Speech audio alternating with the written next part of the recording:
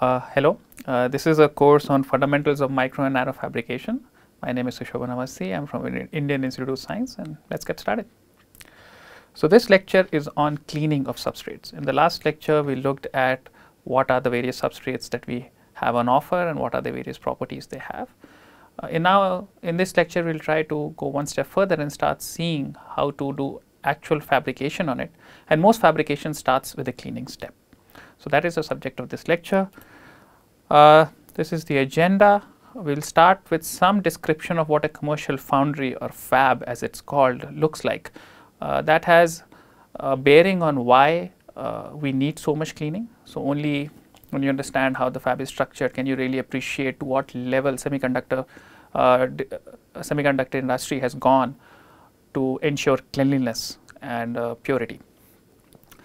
That will lead into the importance of the clean room. Uh, we look at specifically two types of contamination, particulate contamination, chemical contamination and finally we will discuss ITRS requirement. ITRS is a industry body which gives out the roadmap for where the industry would be in the future say 5 to 10 years in the future. And uh, looking at the ITRS requirement you can start to appreciate how stringent the cleanliness requirements are. Uh, finally, we will talk about the specifics uh, that is the recipes that we use to actually do the cleaning we look at some wet recipes, we look at some dry recipes and some back of the uh, back of the process uh, cleaning. Finally, we look at some characterizations, though I will touch on it very briefly because the uh, major thrust of this lecture and this course is on the actual uh, fabrication. So, let us start with an example. Uh, this is a fab that was jointly made by Intel and Micron, uh, which are two very large semiconductor uh, industries and they set up a joint facility in Utah sometime in 2011 and it was a 25 nanometer node. Um, the rest of the details do not matter, but I want you to concentrate on this figure that they released of what the architecture of their clean room looks like. So, a few things to note. Uh, first thing, this is the main clean room. This is where most of the equipment are stored, this is where the wafers are being processed, this is where the humans are interacting with the wafers. So, this is the business end. But behind this business end is a much larger substructure of utilities that help make this clean room work. So, let us take it one step at a time. So, first let us look at the pressurized plenum. So, the clean room remains clean by pushing pressurized air through it. Uh, that pressurized air is pushed from this plenum uh, and in order to make sure the air goes from top to bottom, the plenum tends to be at higher pressure than atmosphere. This high pressure is maintained by what are called uh, MAH or uh, air handling units. So, these air handling units are essentially very high capacity fans that push air and that air is then pushed down into the clean room. The blue things that you see on the top are what are called HEPA filters. These are very high quality, very high fidelity filters uh, that actually clean this air into the standard that is required for the clean room. I will uh, talk about specifics a little later. All of this air that has been purified is very expensive. So, it is not thrown away.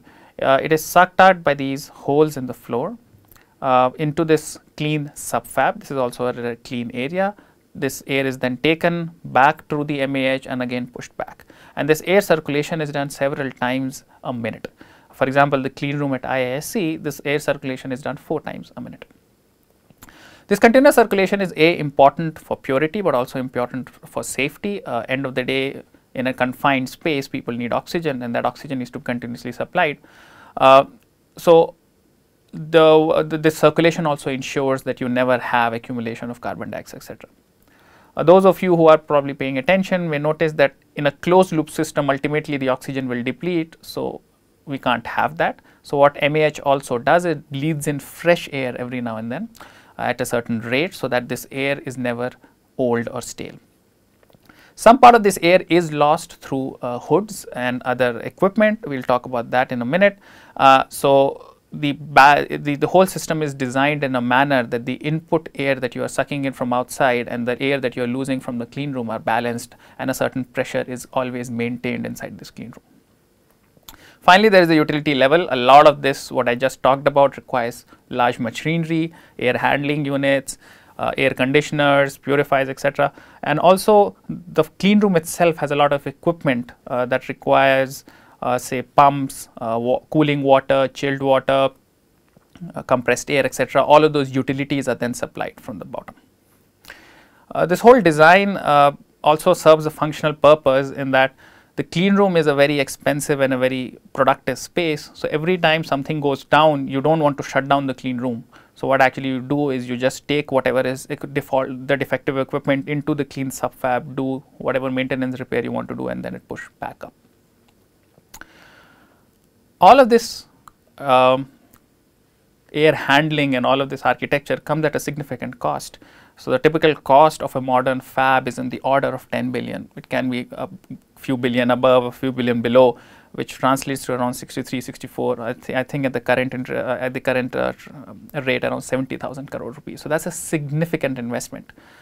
And what I want you to appreciate is why are we willing to make such a significant investment for something that we use in our uh, that we use you know as a matter of course like when you, you buy a cell phone it's relatively cheap. You don't really appreciate that behind that cell phone and behind that chip that is cheap is a significant infrastructure investment.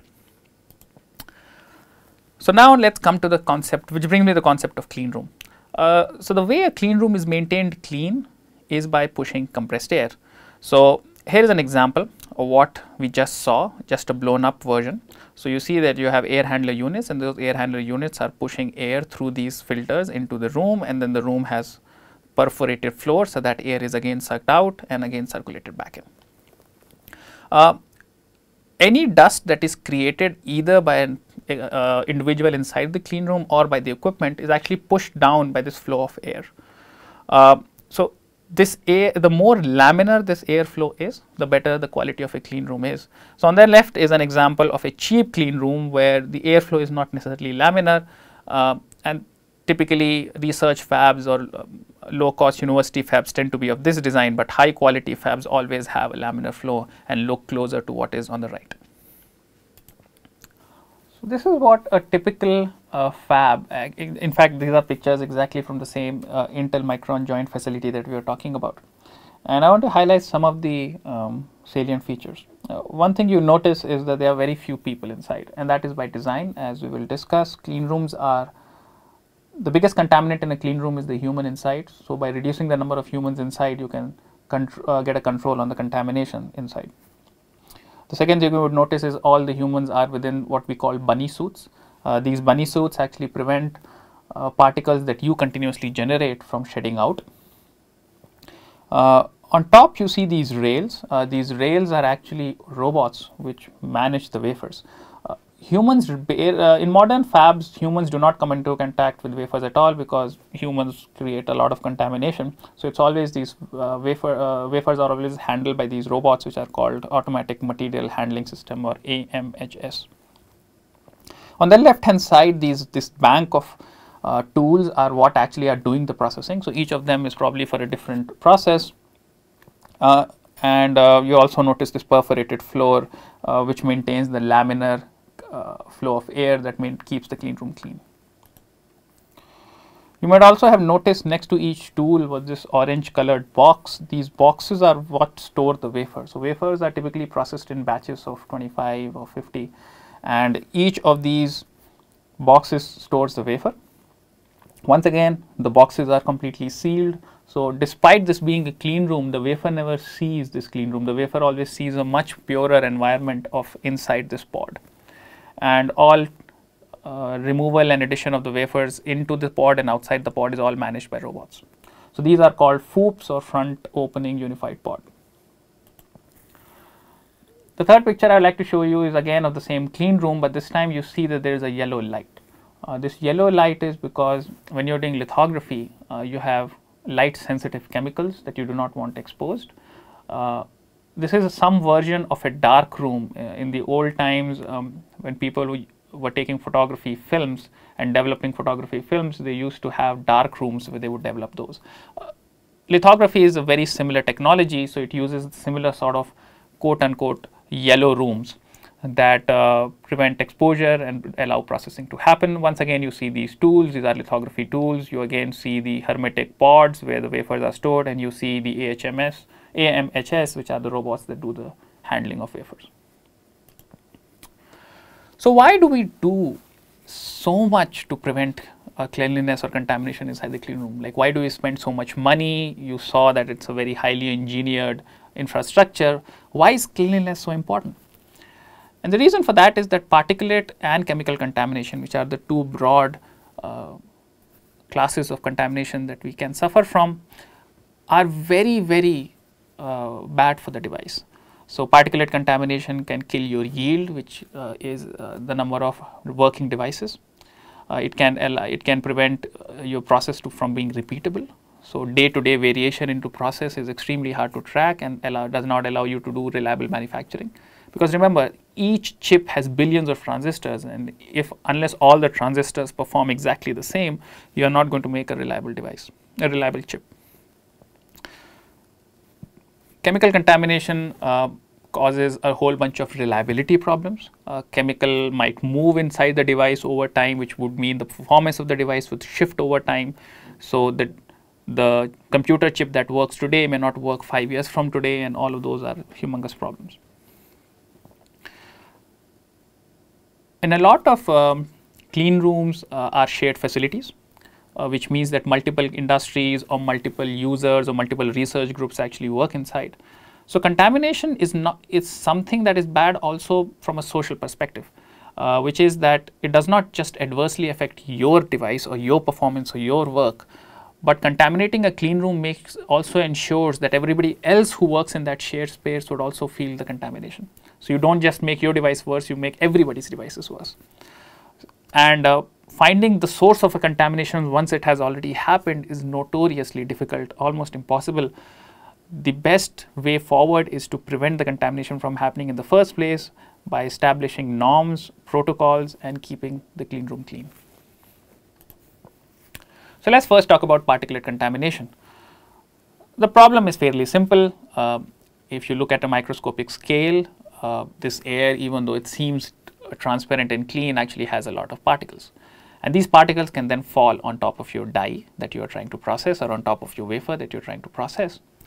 And if you're doing micro and nano fabrication, it doesn't take too much to understand that any particle that falls that is of micro or nanometer scale will ultimately change your device right. So, that, that's very simple. The problem is exacerbated by the fact that these small particles are notoriously hard to remove. Uh, here's a calculation that tries to explain why. So, any particle adheres to the surface through van, through some version of a van der Waals or surface uh, tension uh, and if you actually measure that adhesion force, for its size that adhesion force is fairly strong. So, here is an example, here is a table. So, supposing you were taking silicon dioxide beads, which is glass beads of small size and look at their relative adhesion force. So, of course, smaller particles will have smaller force, but that is not uh, an apples to apples comparison. A better comparison would be how much stronger the adhesive force is compared to gravity, right. So, if the weight of a particle is x, how much, what multiple of x is the adhesive force. So, for a 100 micron uh, bead, the adhesive force is 510 times stronger. While for a 100 nanometer bead, the adhesive force is 7.5 million times stronger. What that means is particles don't fall down. If you take a die and just turn it upside down, the particle will not fall because of gravity. The adhesive force is way stronger than gravity. Even mechanical action like scrubbing or blowing may not be enough to dislodge the particle. So once a particle falls, it's very, very hard to remove it uh, especially with mechanical means and that is why it's so hard to keep uh, it's so important to keep the wafer clean in the first place by just preventing that particle from being inside the clean room in the first place.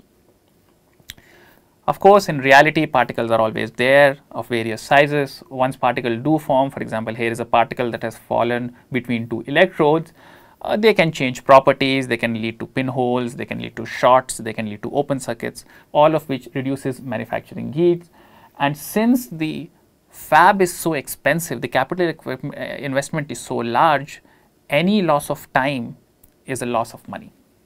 So, you never want your fab to do wasteful work. The fab should be productive all the time. So, yield really needs to be high. Yield typically, the typical yield numbers are 99.9 percent something. What are the various sources of contamination? Uh, there are as many sources as you can probably imagine. Here is an example for various types of uh, particles that we can get in uh, ambient air and depending upon what their source is, the size of the particle changes. Clearly, the smaller the particle, the harder it is to remove it as we have discussed, but also the smaller the particle, the more it affects your device performance. So, as we are trying to make nano-sized devices, we are more and more sensitive to nano-sized particles. Um, common example is for example pollen, uh, smoke, uh, carbon, uh, both from uh, uh, from from burning and as well as from naturally that occurs. There is atmospheric dust, there is viruses, there is bacteria, uh, and all of these things can fall on top of your wafer. An additional uh, thing is that when you process your wafer, when you're doing chemical uh, chemical processing on it, or if you're doing some mechanical processing on it, just the fact that you are using or touching the wafer would also produce particles. So those particles also need to be removed. Uh, the particular contamination problem is a little tricky to model or to mathematically look at partly because the fact that a particle has fallen does not automatically mean that it will cause a problem. It depends on where it has fallen. So, there is a certain amount of probability involved in this. For example, the particle may have fallen between two metal lines in which case it is not affecting anything, but if the same particle falls maybe partially onto the line it might increase the resistance, but if it falls between two lines it might cause a short which might completely kill the device. So, there is a certain probability associated with the defect doing something really bad. A lot of this leads to a, a fairly complicated math I will not go into the details, but I will give you a flavor of what a typical uh, uh, yield calculation would look like. So, here is uh, one example. Uh, this is a busy slide. I will uh, walk you through it. Let us first start on the left. So, for a given wafer size, uh, process yield is simply the number of devices that work or number of dies that work. So, typically in microfabrication, you start with a wafer, you simultaneously process several dies uh, next to each other and then you cut it up and each die is a, is a functional uh, chip that you can sell, right. So, the yield of your process exponentially depends upon the, the defect density. So, the more the defect density, the lower the yield. So, there is a negative exponent here. The higher the probability of causing failure, the lower the yield. And the second thing it depends upon is what is the number of dies per unit area. Now, this may not be intuitively obvious. A better way to understand this is if you look at n is nothing but 1 over a, where a is the size of the average die. So, all of this is best uh, uh, discussed as an example. So, let us now look at the three figures. Let us start here, these two figures. So, here you have two wafers that are roughly of the same size, right? And uh, these in this wafer, each this is a functional die. So, what you are going to do is you are going to cut this uh, wafer up into uh, small pieces and 16 you will get 16 dies each of which is a working IC that you can sell. Right. Now, supposing this was the same process was done in two different clean rooms one was very well controlled so the number of defects were low so you only have these blue dots represent defects that were formed because of particles. So, there were fewer defects in clean room 1 there were more defects in clean room 2 if you just look at it and if you assume that each defect would kill the device, uh, you can easily see that out of the total 16 possible working device on the left you would get 12 working devices which is a 75 percent yield and on the right you would get only 8 working devices which is a 50 percent yield. So, this is definitely a less productive clean room than clean room 1. Uh, and now this formula probably makes sense to you uh, uh as far as P into D is concerned. Now, in order to understand what this n does, now let us look at the third figure. So, in this case what I have done is I have kept the wafer the same size, however, I have changed the size of the die. So, now instead of getting 16 dies from one wafer, you are supposing only getting 4. So, the your die size is a little larger, which is that your A is a little larger. And to keep things simple, I have kept the number of defects exactly the same on the left and on the right. So in these two cases, when you compare, you can just again do the math. You will see that none of the dies are actually defect free. So your yield is zero, right? So by simply changing the area of the die, you have actually reduced your yield. And if you think about it, that intuitively makes sense that if you have a possibility of a defect occurring, the smaller the die size, the more chance you have of missing that defect. But if your die sizes are large, then you don't have any hope of missing that defect and you would always uh, end up with a lower yield. So that's the intuition behind this n number. In general, uh, larger dies lead to your lower yield. Uh, higher defect densities tend to lower yield and higher probability of causing a defect would also lower the yield. So, these are three things that you have to maintain in a process. The easiest of them to do is uh, and what is the subject of this lecture is to reduce D, right, to keep the defects or the particles falling onto the wafer to a minimum.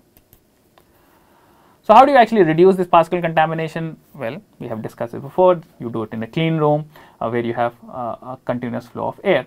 There are certain standards of what cleanliness of a clean room is. Uh, they are called ISO or the FED standards. On the right, you can actually see uh, I do not expect you to remember these numbers, this is just to give you an example. For example, uh, this is a class 1000 clean room at ISC and if you notice what class 1000 means, so this is what class 1000 is. Class 1000 tells you that you should not have more than 293 particles that are larger than 5 micron inside a cubic meter. Okay. And then it gives specifications for what is what about the particles of 1 micron, 0.5 microns, etc., etc. Uh, a few things to notice as the particle size becomes lower you tend to you have to tolerate more and more particles and that is because it becomes increasingly harder to clean the other thing i would like you to notice is going from a class 100 to a class 1000 is an order of magnitude change right so going from a class 100 to a class 1 is two orders of magnitude change so it becomes increasingly hard and expensive to clean uh, so a commercial fab often uh, inside the, uh, the environment that the wafer sees is sometimes class 1 or even better. It can be say ISO 1.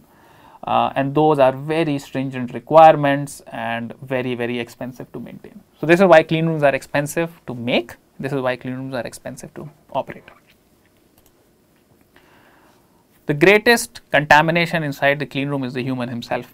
You are a polluting person in the sense that every minute you spend inside the clean room, you are creating particles. Uh, you are shedding hair, you are shedding skin, uh, just by virtue of you talking, you a little small droplets of saliva are coming out from your mouth. So everything you do inside the clean room creates particles. And the amount of particles you create actually scales with the amount of intensity of the activity you are doing. So if you are just standing, you are maybe uh, uh, creating around 10 power 5 particles, but if you start exercising, you are creating two orders of magnitude more number of particles. What this means is inside the clean room, be very disciplined. Walk slowly, move slowly, move deliberately. You're not supposed to be jerky, uh, hasty, or uh. Clean room is there. You are only supposed to work in the clean room when it's work time. You do your work, you get out, you don't loiter around because every person inside the clean room is a load that the clean room has to manage. Um, this is also sort of given in, in this uh, data that we actually have from our ISC clean room, where each clean room is designed for a certain number of people inside. So we expect a certain amount of particles to be created and we design the clean uh, the airflow in the clean room to remove those particles at a certain rate. So for example, this is a room uh, which has been designed for two people working simultaneously. But if suddenly instead of two you have uh, 6 or 21 people inside say because of a training then suddenly the clean room can't cope up anymore and the particle count goes up. So, if somebody is doing something uh, critical while there are 21 people inside the clean room, they may not get the yield that they need. So, it is very important to uh, keep the discipline of the clean room. One way we reduce, not eliminate, but reduce the contamination that the human causes inside the clean room is to put you inside bunny suits. Um, so, a bunny suit typically is a certain gown uh, made from polyester or some fabric that does not create particle on its own so, it can't be cotton, it can't be a lab coat. Um, then you always have gloves, again nitrile gloves, you can't have uh, cotton or some other uh, lint, lint full uh, fabric, it has to be a lint free fabric. Often masks are required, glasses are required both for safety but also from uh, for particle contamination and hairnet. If you have a beard, you might also need an addition beard hold. Uh, this is true e for across genders, even women are expected to completely tie up their hair so that no hair ever comes out into clean room. And then you have some shoe covers or booties so that any dust from your shoes or from your uh, feet does not come out. So, this is what you typically look like inside a clean room. Uh, a few common mistakes, please no visible wrists. You always have to ensure that your glove and the hem of your uh, clean room gown are, or one on top of each other. So, there is no exposed skin in the middle. Uh, you are not supposed to sneeze, wander or dance. You are also not supposed to touch any dirty surface which includes your face. So, please do not wipe your face and work inside the clean room because that dirties up the glove which will ultimately dirty up the clean room. Once again, be disciplined. The second thing that you have to be careful inside a clean room is chemical contamination. Uh, the sources of chemical contamination are obvious, uh, just that we live in an environment where that can be atmospheric contamination, there can be soot, carbon soot, there can be exhaust from a car that might, wait, might make its way inside the clean room, but also from you. Um, our skins have uh, secrete oils, our skin secretes sweat and all of that can be a contamination. Then we also use a lot of chemicals inside the clean room which themselves can be sources of contamination. There might be contaminate contaminants inside the chemicals that we are using and that might also be a source of contamination. So, all of these things have to be managed that all the tools that we are using, uh, not all of them are made of plastic, some of them are made of steel. So, now that steel can cause iron contamination and iron is a very, very bad contaminant, contaminant in silicon at least. So, the sources of contamination are way more uh, are several and so even if inside a clean room if you are doing everything right you have to actively do things to reduce contamination that is coming uh, coming in all the time here's an example of uh, what contam chemical contamination can do um, this is a device this is a MOSFET uh, MOS uh, transistor if you don't know much about it um, maybe I can give you a very short primer. The way the MOS transistor works is that there is a sheet of electrons here at the interface of a device and that sheet of electrons is modulated that is turned on or off by a gate on the top. So, it is a capacitive coupling. Now, in a capacitor, uh, the electric field is what actually uh, creates this channel, right. Now, supposing you have some mobile ions, say supposing you have some sweat, contamination from sweat. So, sweat is sodium chloride which means you have positive sodium ions and that positive sodium ions remain in this dielectric. Now, what can that do? Well, what that does is that when you apply this bias, you do not just all the, the, the voltage is not just applied onto the electrons which is what you need, but also these positive charges and these positive charges will sort of move up and down in your device and over a time it will it will shift the IV characteristics of your device. And this character uh, shift is not it cannot be planned for because this shift will come and go depending upon how long did you apply the bias. So it's a transient effect, right? So these things are not very very hard to design for and uh, circuit designers hate it. So you have to avoid the sodium contamination in the first place because once it has happened the device is gone. And it does not take much to cause the shift. Uh, again, I do not hope uh, for you to remember the formula, we will not quiz you on it. I just wanted to give the formula so that we can be a little quantitative. So, if you actually do a calculation that what will it take to shift this IV characteristic by 100 millivolt, which is by in the scheme of things is a relatively small number. And if you do the calculation, you will see that it only takes around 10 to the power 15 atoms per centimeter square to cause the change. Now, this seems like a large number, but it is not uh, because sorry it only requires 10 to the power 11 ions to make a change and this is not a large number because what you can compare it, it can compare it with the atomic density of silicon. So, silicon has around 10 to the power 15 atoms per centimeter square. So, if you just have 10 to the power 11 which is 1 in 10,000 contamination, you will have a IV shift of 100 millivolts. So, in order to reduce it further, your contamination level needs to be better than 1 in 10,000 and that is a pretty high bar. Another example of what contamination can do, uh, this is uh, an SRAM. So, in RAM what actually happens is you store charges and those charges um, are, are stored as a capacitor and long story short without going into de uh, details, typically you need bulk defect density uh, of less than 10 to the power 12 centimeter cube. So, this is not surface but bulk defect density. And once again, if you compare this with the silicon atomic density, which is 10 to the power 22, you realize that the bulk contamination needs to be less than 0.1 ppb, right. So, it is a remarkably low number. So, very little amount of contamination either in the surface or in the bulk will cause significant change in the performance of the device and must, must not be allowed to happen. Okay. So, how do we do that? Well, to start off, we use the purest form of water we can find. So, this is called deionized water. Uh, this is purer than what you would call distilled water in the sense that it is completely stripped of all impurities and ions uh, to the point where it becomes insulating. Most people think of water as conducting, which it is in most cases, but here we have purified water to a point where it becomes insulating. Uh, the way we do that is we uh, there is a multi-stage process. It's a very expensive process to make. You start with particle filtration, water softener, activated carbon. Till here is a typical kitchen water filter. But then after that, we then do reverse osmosis, we do ion removal by electrodeionization, and we also have a resin-based polishing stage. And DI water never remains clean because the air has carbon dioxide, and then carbon dioxide will dissolve in that water and make it uh, and the carbon will form carbonate which is an ion.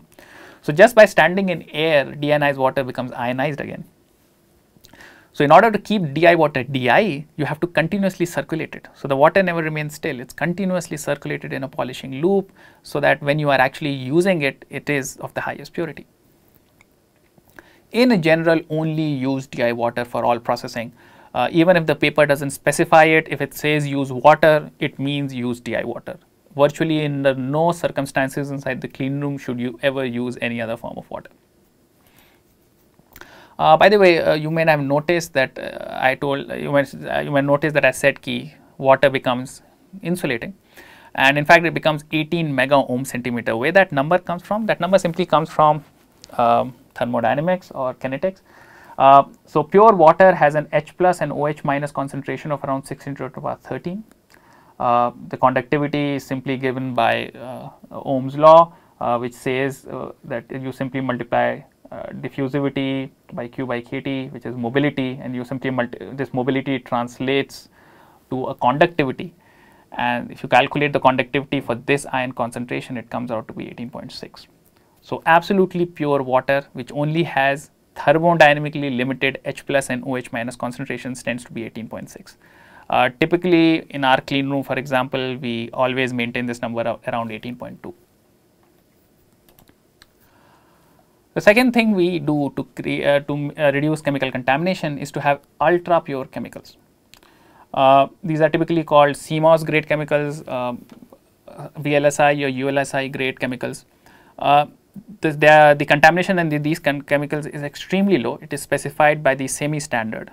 This is very stringent sta uh, standard that actually requires more than 30 types of impurities to be less than 10 or 200 ppb.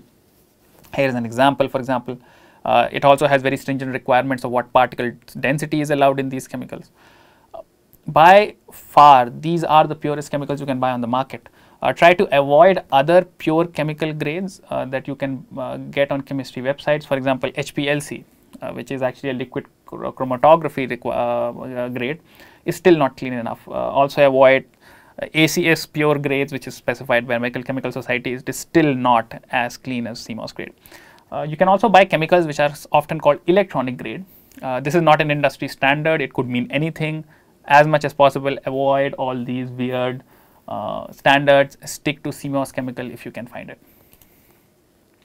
Here are some examples. Um, I would not spend too much more time on it. You can look at it. This is this is somebody who has done actual measurement of uh, contamination inside a CMOS grade chemical. So Q, uh, QL is at the resolution of the measurement. So this is the smallest that the measurement could have measured. Uh, on the right is the specification. This is what the SEMI standard says. And in the middle are the numbers that they actually found. And in most cases, you would see the practically measured numbers are actually significantly lower, an order of magnitude lower than the specifications. Okay. So, even though the specifications are very stringent, the industry actually manages to get even better numbers.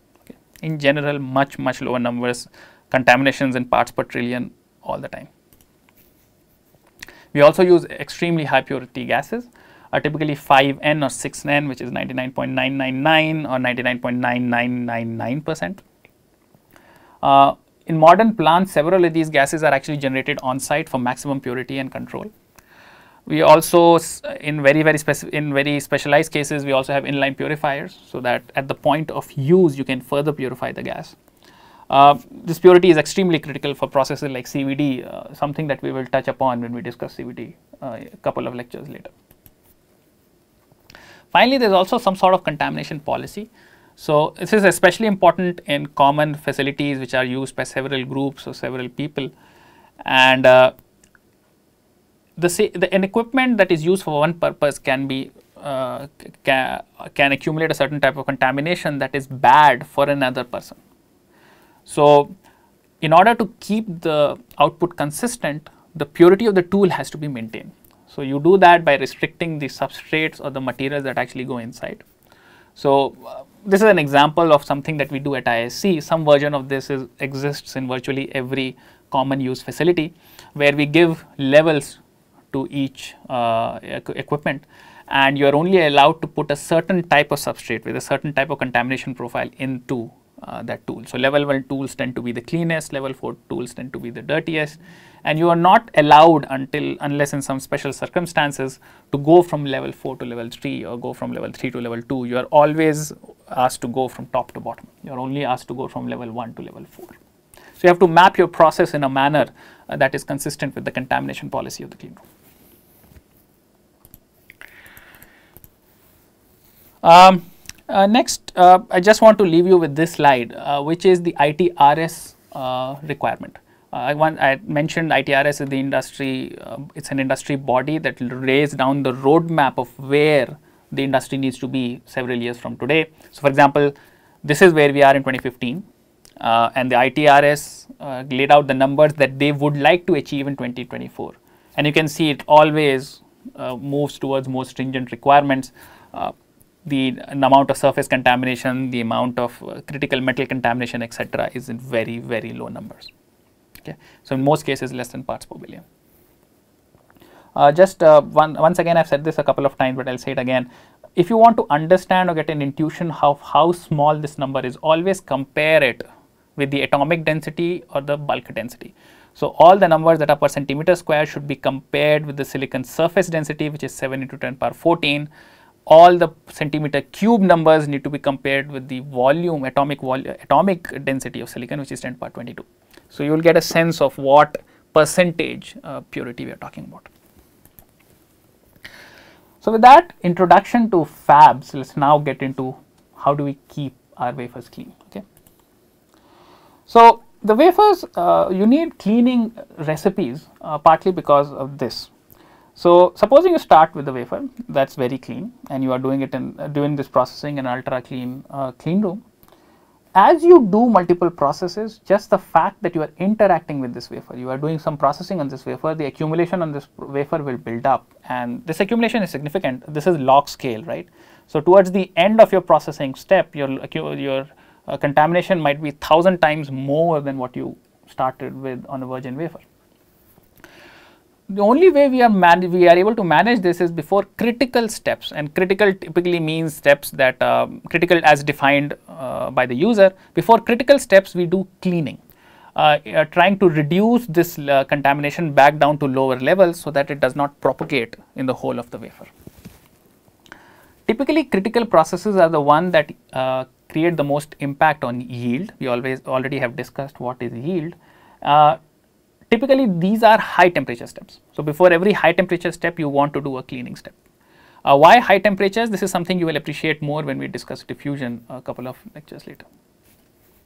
So, with that introduction of what is a fab, uh, why do we need a clean room, what is what are the standards when we talk about a clean room, uh, we'll end this lecture here. In the next lecture, we'll go into more details on how we actually do cleaning. Uh, even though we have a clean room, the wafers will become dirty. So, we must have a way of Uh, cleaning that surface. So, see you next time.